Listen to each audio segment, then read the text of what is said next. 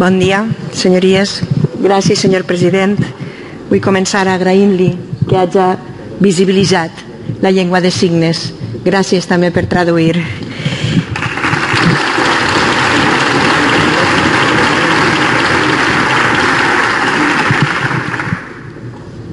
Algunas claves del futuro no están en el presente ni en el pasado, están, extrañamente, en el futuro.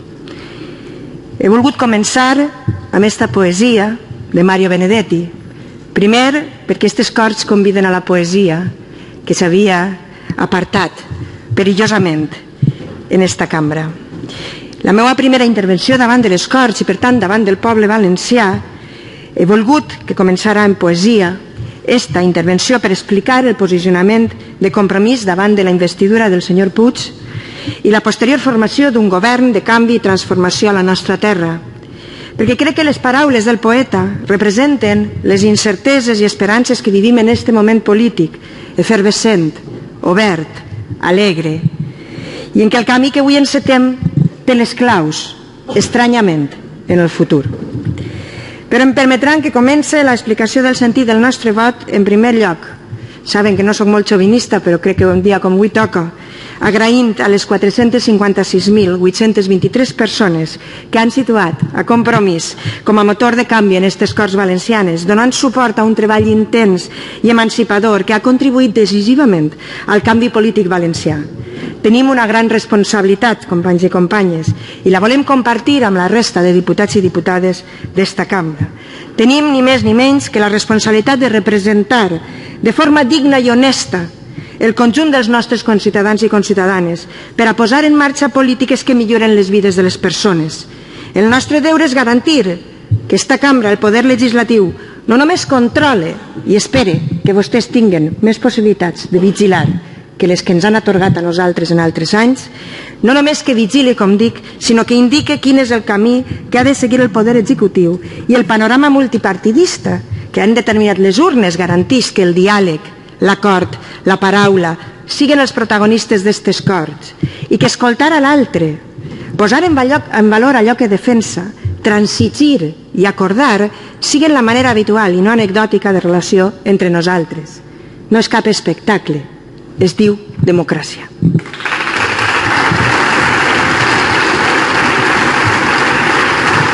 També, senyories, ha de ser la manera de governar del nou Consell, dialogant, obert, que reinvente el poder i la manera d'exercir-lo.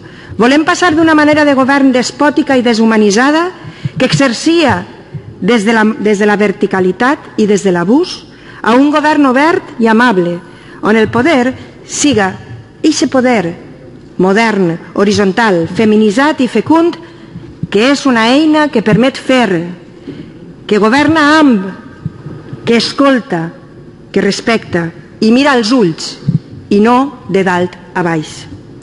El 24 de maig la ciutadania va decidir que el temps de les majories absolutes, que alguns de forma interessada havien confós en poder absolut, s'havia acabat. Durant l'última legislatura hi havia una bancada, la del Partit Popular, que donava suport a un Consell i que ocupava més de la meitat de les cadires d'esta sala.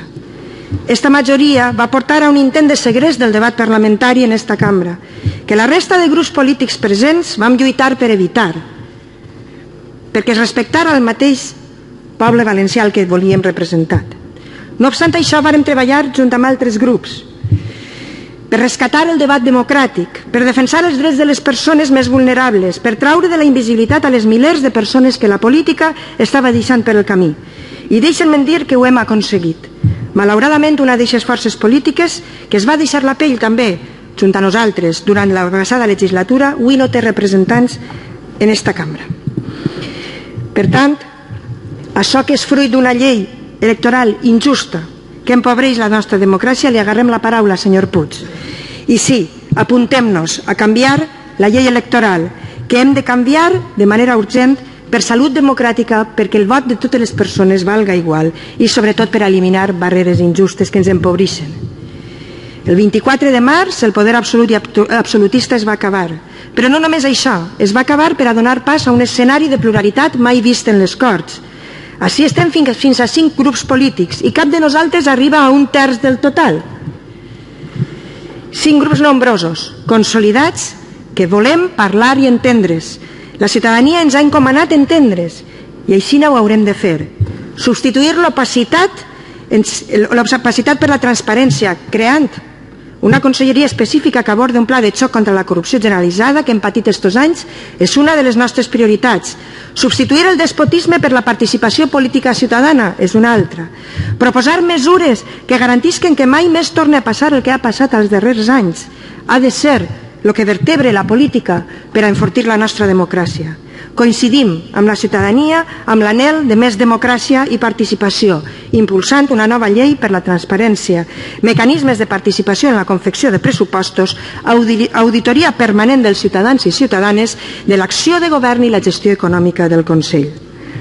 Posar el debat i l'argument al centre de l'activitat política al lloc on es mereix i no al racó on malauradament s'havia quedat confinat és un altre dels nostres objectius.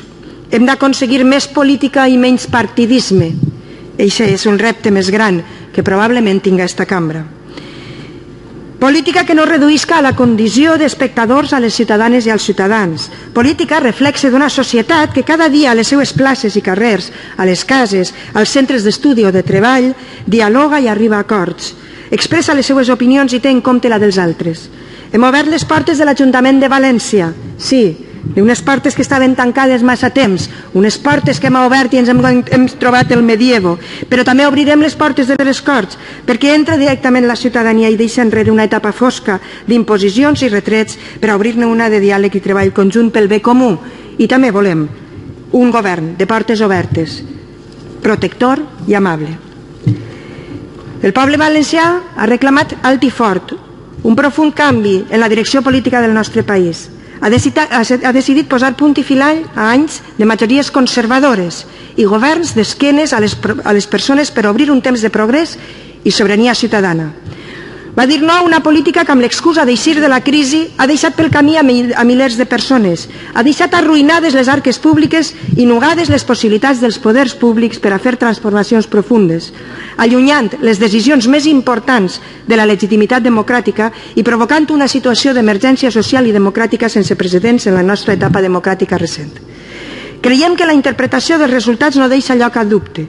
S'ha conformat una majoria parlamentària sòlida, a favor de virar la trajectòria del Consell cap a polítiques transformadores, amb persones al seu centre.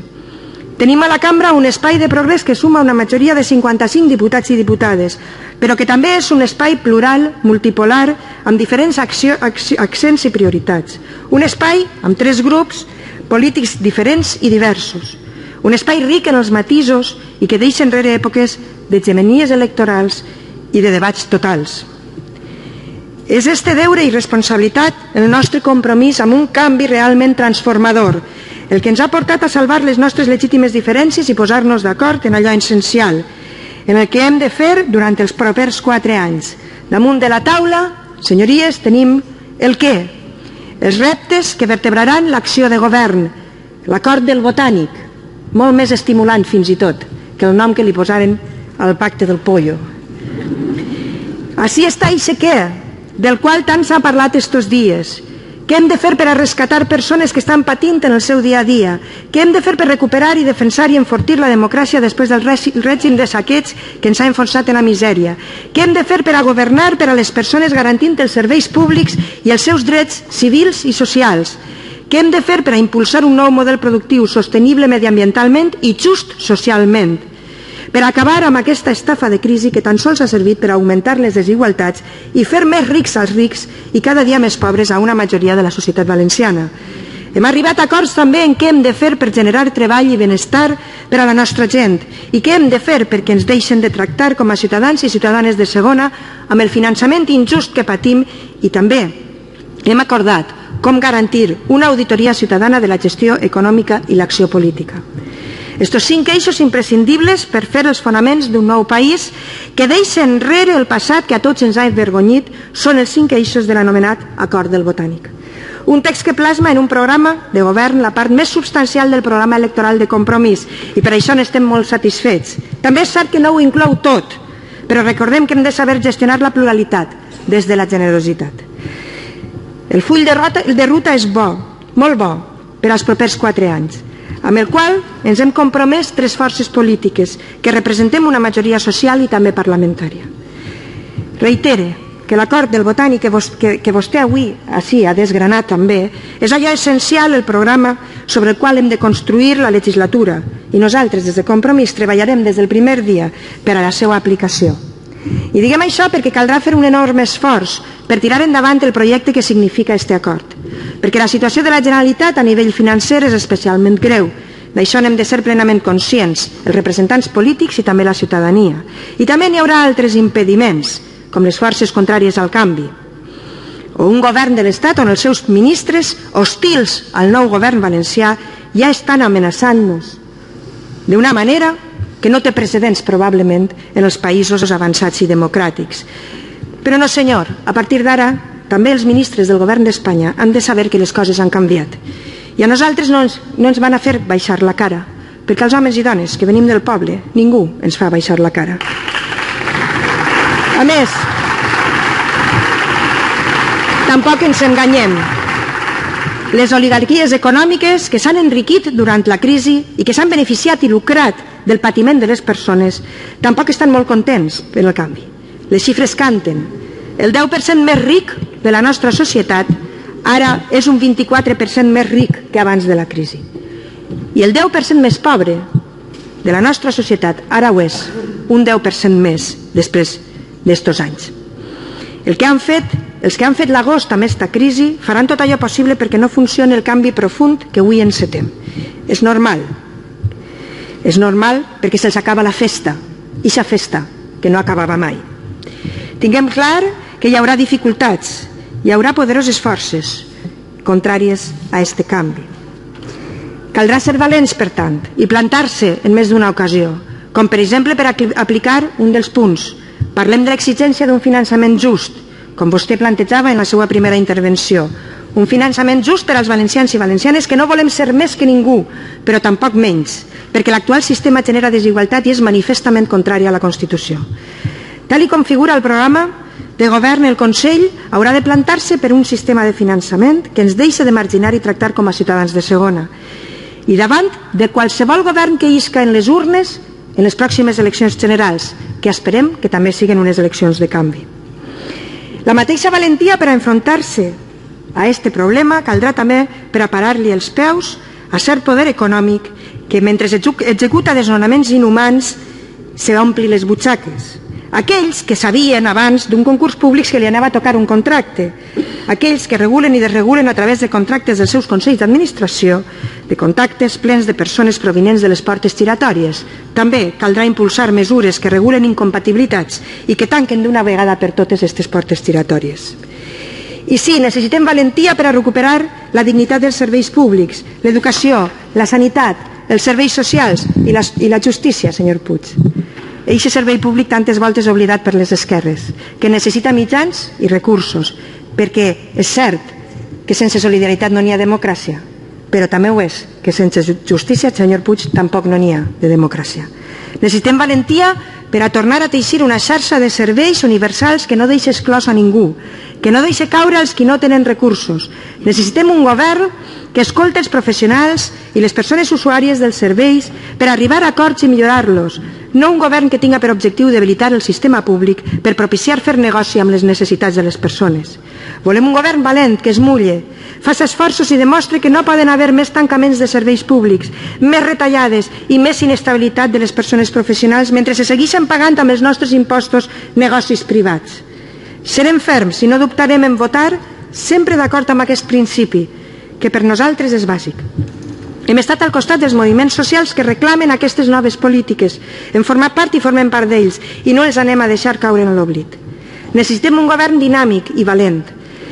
Un govern que vagi al fons del problema i aquell que els ha creat i que assenyala les injustícies que els fan créixer i que treballa per crear un nou model de societat que no en permeta de més d'injustícies.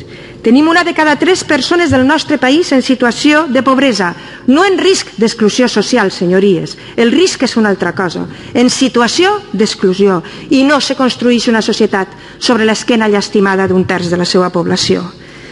Hem d'acompanyar-los per eixir d'esta situació el més pronte possible, sense oblidar-nos de lluitar contra les estructures profundes que han generat aquesta situació d'exclusió. Abordar les dues emergències, la social i la democràtica, ha de ser la primera línia d'actuació del nou govern, perquè, senyories, hi ha molta gent que ja no té temps. I en el plànol social donar compliment als expedients de renda garantida a ciutadania que ara mateix s'amuntonen damunt de les taules. El que per anteriors governs eren números d'expedients no atesos són persones amb vides difícils i molt de patiment, persones que per perdre han perdut fins l'esperança. I també necessitem un gran pacte com a societat per generar els mecanismes que ens impedisquen tornar a una situació similar. Hem de fer una nova estructura de societat cooperativa i col·laborativa que repartisca justament la riquesa i el treball i que genere oportunitats per a tot el món.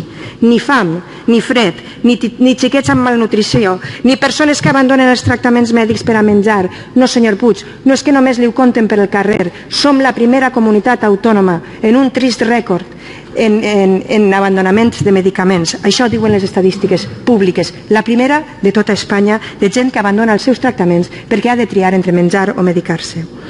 I no m'estranya que alguns se remenegen als seients quan se parla d'aquestes coses, perquè són els majors responsables d'esta terrible i dramàtica situació. Hem de reparar ferides, sí, de la gent més vulnerable, les persones que han estat sotmeses a un maltracte constant, culpabilitzant-les i estigmatitzant-les. Estic parlant de les persones amb dependència o amb diversitat funcional. Se s'ha retrasat la valoració, sotmès a copagos, a rebaixes en les ajudes, a baixades de grau sense majoria física, s'ha esperat a que se moriren abans de cobrar, a retrasos en els pagaments, anys. S'ha maltractat als centres que tenen a aquestes persones i als seus treballadors i treballadores que han tirat fins sis mesos sense cobrar alguns d'ells. Reparar significa acabar amb els copagaments, senyor Puig, acabar amb ells. En una societat avançada i inclusiva, l'esforç per a finançar els serveis públics, sí, senyories, se fa a través dels impostos, se fa a través de sistemes pro, eh, tributaris progressius i se fa a través de sistemes on el que més té més aporta en els impostos. Sí, senyories, per això se paguen impostos. I a la gent el que li molesta és quan se paguen impostos i algú se'ls tira a la butxaca. No li molesta que se paguen impostos per a finançar aquests serveis.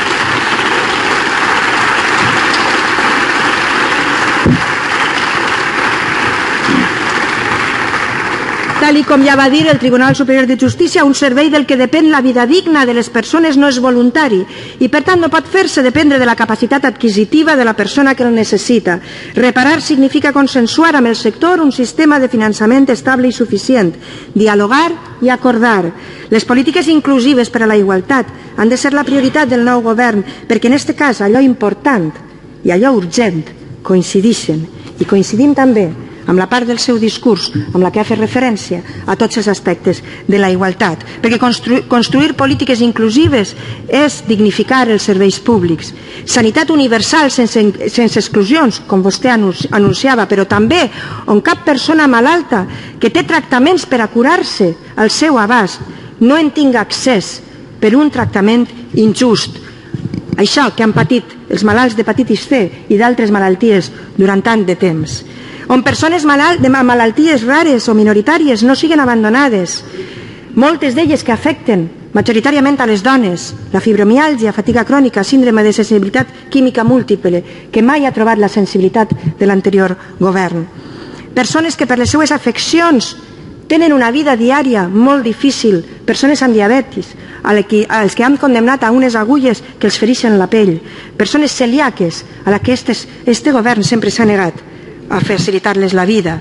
La política ha de facilitar la vida de manera integral a les persones que més difícil la tenen. La investigació, precisament per a que aquestes malalties tinguen unes cures en un futur, que este govern ha abandonat la investigació, ha desmantellat el centre Príncep Felip, quan començàvem a ser punters en determinades investigacions científiques. Un sistema sanitari públic, de gestió pública, on ningú puga fer negoci amb concessions o privatitzacions a costa de la nostra salut i a costa d'exclusions injustes. Això és un dels eixos d'aquest acord del botànic quan parlem de dignificar serveis públics i en el sistema educatiu volem que es dignifique el treball dels i les mestres, dels i les professores. Volem una llei valenciana d'educació que és un repte col·lectiu, consensuada, parlada, acordada, acordada amb tot el sistema educatiu i també en esta cambra un sistema que eduque a persones lliures, persones crítiques, persones que sàpiguen plantar-se front al poder, un sistema que aposte decididament per l'ensenyament públic, on no es tanquen unitats educatives públiques per afavorir escoles privades, sistema, un sistema que tinga infraestructures dignes, hem d'acabar amb els barracons en els que xiquets han estudiat totes les etapes educatives, això s'ha d'acabar, senyories. Un sistema i un govern que tinga en la nostra llengua, en la nostra estimada llengua, una oportunitat i no la veja com un problema o com un enemic. La nostra llengua no és patrimoni dels valencians i valencianes, és patrimoni de la humanitat, perquè conforma una cosmovisió única que volem compartir amb la resta de pobles de la terra.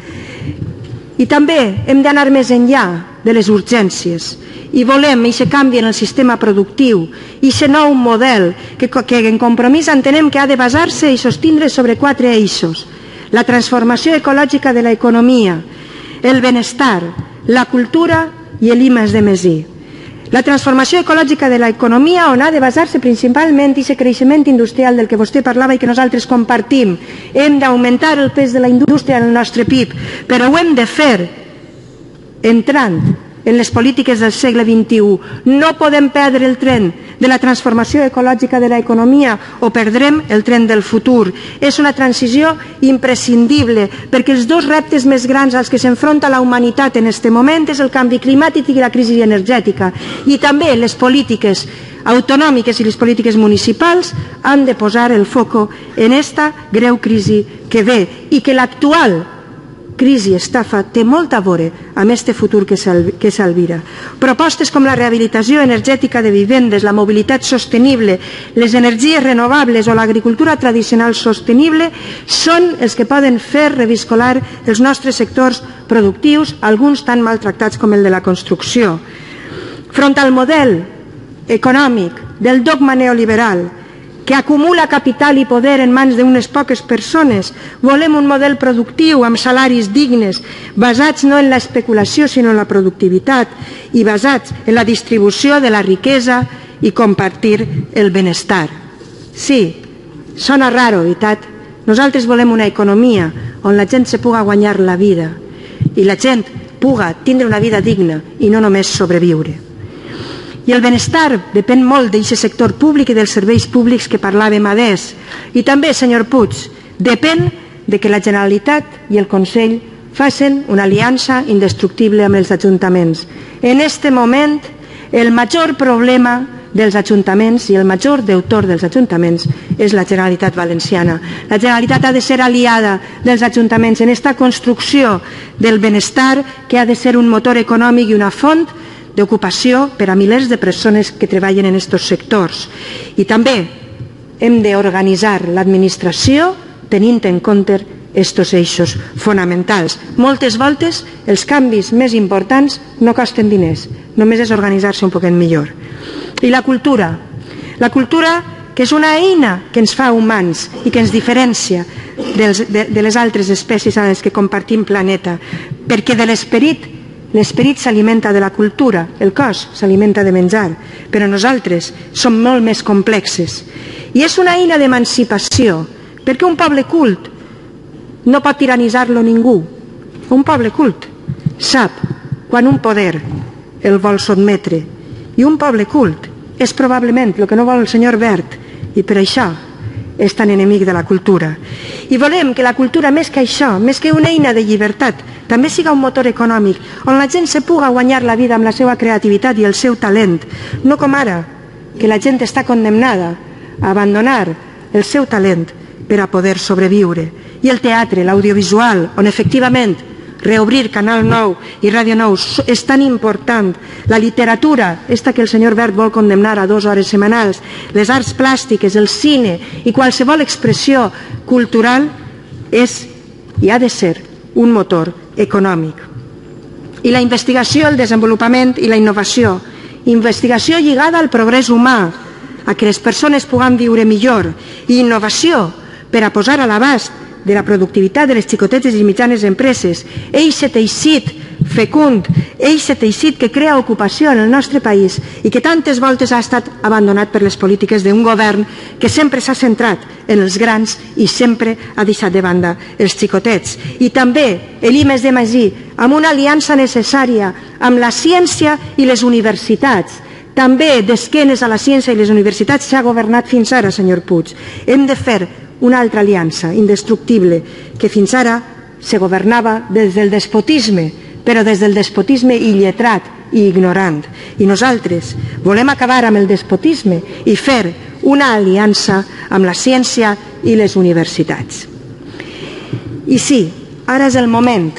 Davant nostre s'ha presentat el candidat, el Partit Socialista, a la presidència de la Generalitat, senyor Puig, per demanar la confiança d'estes Corts per a formar un nou Consell. I el posicionament de compromís, per totes les raons que he esmentat i moltes altres que no caben en este temps, és un vot favorable. No és un xec en blanc, però és un vot favorable. I és necessari per a crear les bases d'un nou país. I ens pensem emplear a fons. Ens pensem emplear a fons des del primer moment per a contribuir a aquest acord del Botànic puga ser una realitat en accions de govern en el dia a dia. I és un sí per a lluitar contra la pobresa que pateixen un 33% de valencians i valencianes. És un sí per acabar amb la pobresa infantil en la que estan quasi un, un 40% dels nostres xiquets i xiquetes. És un sí per la dignitat i la justícia per a les persones amb dependència o amb diversitat funcional. És un sí per a un nou model productiu de futur que reindustrialitzi el país, fomente l'economia sostenible i ecològica. És un sí per a que puguem tornar els nostres joves que s'han degut d'anar i no s'han anat per aventura, se n'han anat perquè sí, no se'ls ha oferit un projecte de vida ni una esperança, els volem així, així els parirem i els volem tornant a tots aquells joves que han tingut que anar-se'n d'este país. I és un sí per a recuperar el sistema financer valencià i que arribi el crèdit a la xicoteta i mitjana empresa. És un sí per a una sanitat universal, pública, al servei de les persones i no de les empreses que volen enriquir-se amb la nostra salut. És un sí per una educació pública innovadora i de qualitat que forme persones lliures i crítiques i un sí per acabar els atacs al Cremona, a l'Herrero, al Martínez Vall i a tants altres escoles del sistema públic. És un sí per a una justícia eficaç, sense taxes, sense traves, amb recursos i possibilitats i veritablement autònoma independent. I independent. Un sí per a una ràdio i televisions públiques de qualitat i en valencià és un sí per un finançament just i una auditoria ciutadana que posa els recursos al servei del bé comú. És un sí per acabar amb la corrupció i amb els corruptes i el llatrocini que ens ha arrastrat els últims anys i un sí per a que els culpables paguen el que toca i no es puga tornar a repetir esta vergonya a les nostres institucions. I és un sí per als drets civils i ser dia que celebrarem de colors el, el pròxim 28 de juny i que omplirà també d'igualtat el nostre Consell que ha d'atendre a les llibertats LGTB. I és un sí també i permeten que no acabe este discurs sense fer una referència per a polítiques més enllà de les nostres fronteres, especialment aquelles que tenen que veure amb la cooperació i la solidaritat internacional este àmbit d'ONGs, este àmbit de gent que treballa tots els dies, perquè igual que no se pot construir una societat sobre un terç ja estimat de la seva població, no se pot construir un planeta sobre la immensa majoria de persones sumides en una pobresa que no els permet ni sobreviure, ni en els dies, mentre estem parlant, els xiquets i xiquetes i les persones que moren de fam en el nostre planeta. I sí, vam tindre que viure la vergonya de que els diners de la solidaritat internacional es desviaren a butxaques de persones sense escrúpols i sense vergonya. Uno ja està en presó i està bé ahí. I vull rendir homenatge a les dones valentes d'estes corts que ho han fet possible i no podia no fer referència també a les ONGDs que seguissin treballant dia a dia per a posar la solidaritat i la cooperació on es mereix un govern també, senyor Puig, que no s'oblide que més enllà de les nostres fronteres també n'hi ha patiment. I un sí per tantes i tantes coses que faran, que amb tot l'esforç i la valentia que siguen necessàries. I vostè pot comptar amb la nostra valentia i els assegure que som un grup de dones i homes valents, pot comptar amb eixa valentia per a que tragam el nostre estimat país del pou on l'han clavat i que el posem en el mapa, però en el mapa de la dignitat, de la justícia social, d'eixa transició ecològica per a ser punters en Europa, en la prosperitat que ens mereixem els valencians i valencianes, per a que ningú mai més, ningú governant mai més, ens torne a avergonyir al poble valencià i per a que puguem eixir d'ací, amb la cara ben alta, dient que som valencians i valencianes, alegres i combatius, que estem a punt d'encetar el nostre futur. Moltíssimes gràcies.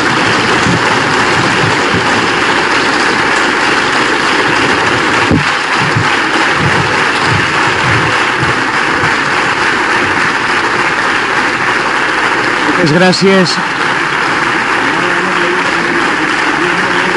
Moltes gràcies, senyora Oltra.